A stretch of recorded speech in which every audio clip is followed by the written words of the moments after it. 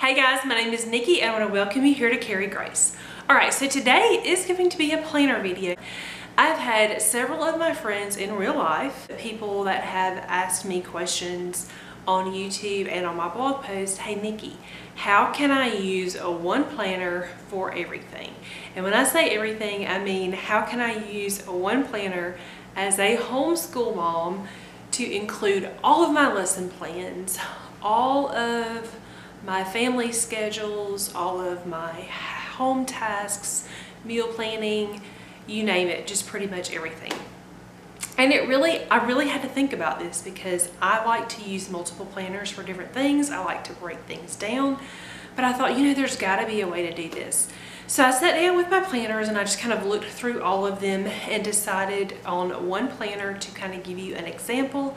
Obviously this is, isn't the only planner that you could do this with, but this particular planner is one that I had on hand and I felt like it had everything that I needed to be able to break down a lot of different things. So that's what I'm going to be sharing with you guys today. I'm going to share with you how if you are a homeschool mom, how you can use one planner for everything. The planner I'm going to be using as an example today is the Erin Condren teacher planner. Now this is last year's version, the 2016-2017.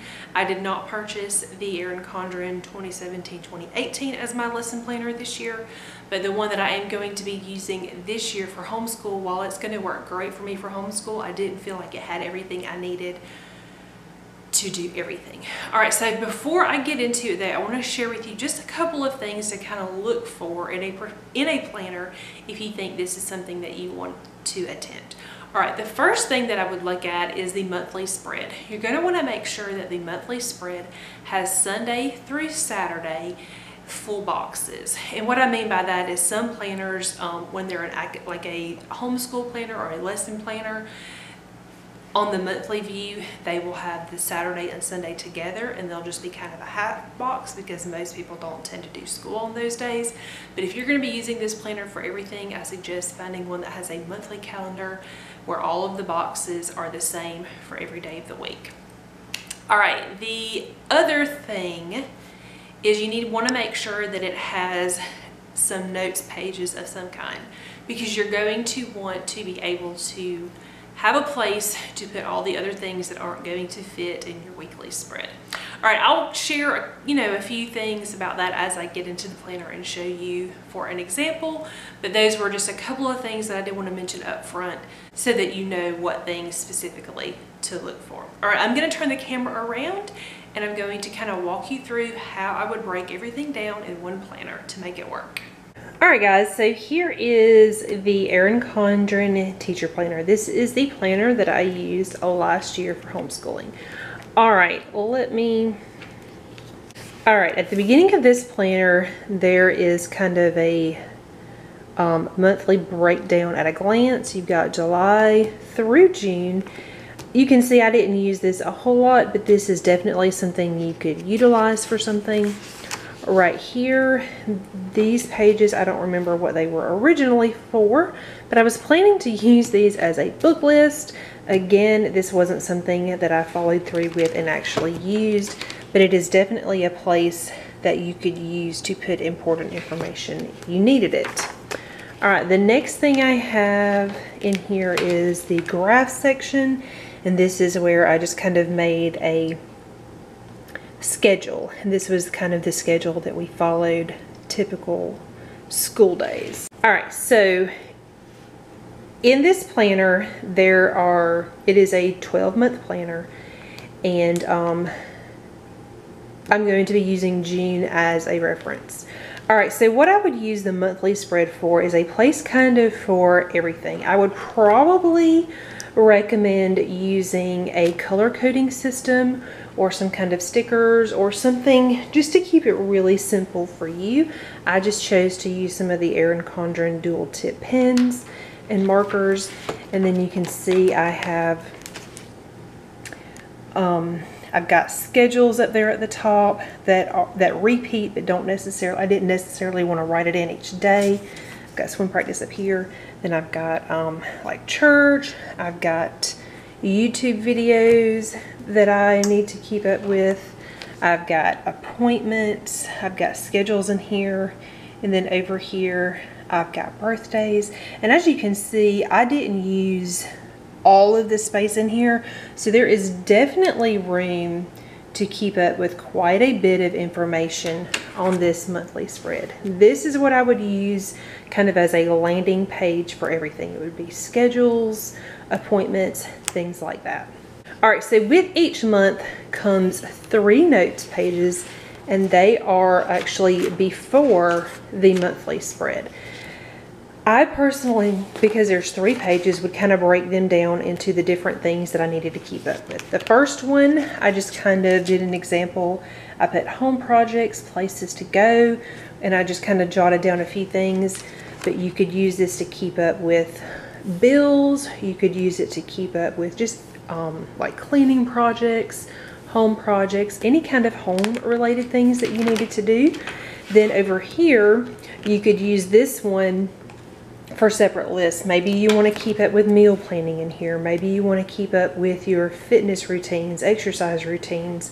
Maybe you want to keep up with your home business or your YouTube channel or blog or things like that. There's a lot of room on this page for you to kind of map it out and use it like you want to. I didn't do that on each page, but on this one I'll kind of show you how you could do it. This page I used for keeping up with homeschool notes. I've got week 26, 27, 28, 29, and then I kind of have just some to-do lists that I need to do each week and then I break it down. I've got a place for notes, I've got a place for projects, and I've got a place for prep.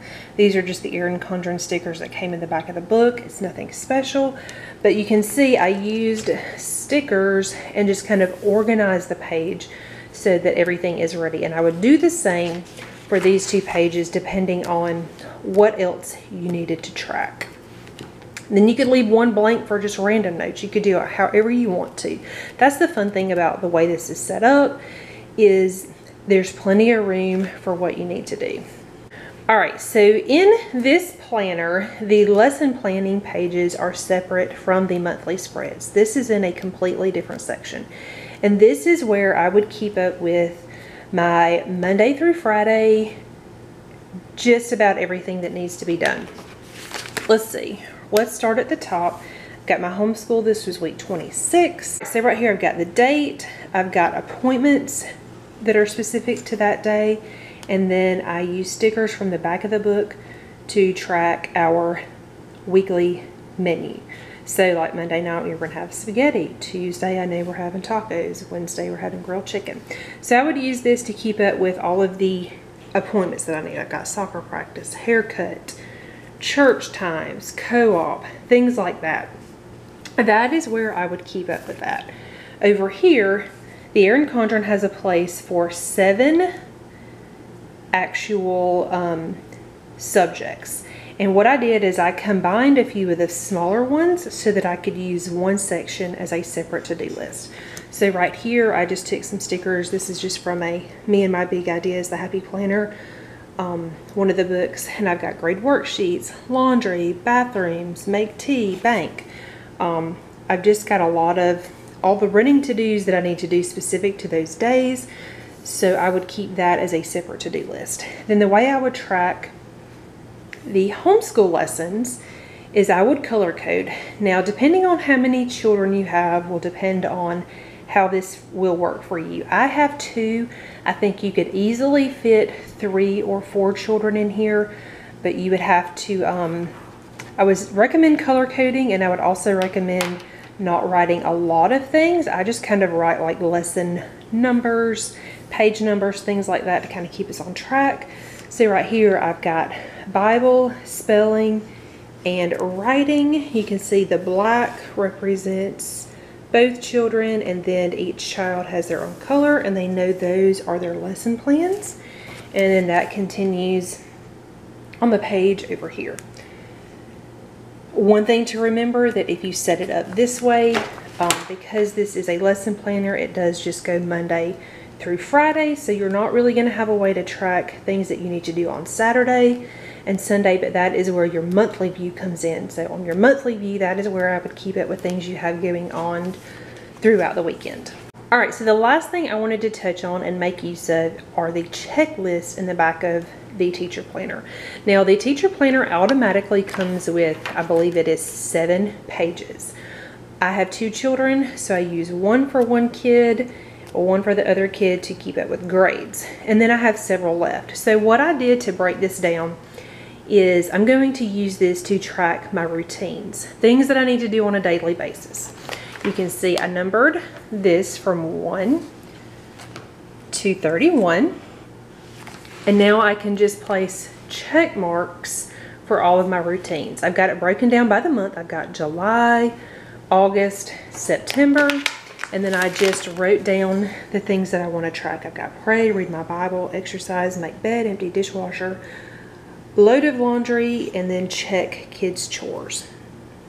Then in the evening, I've got a quick tidy and kitchen cleanup. You can see there's a few extra things.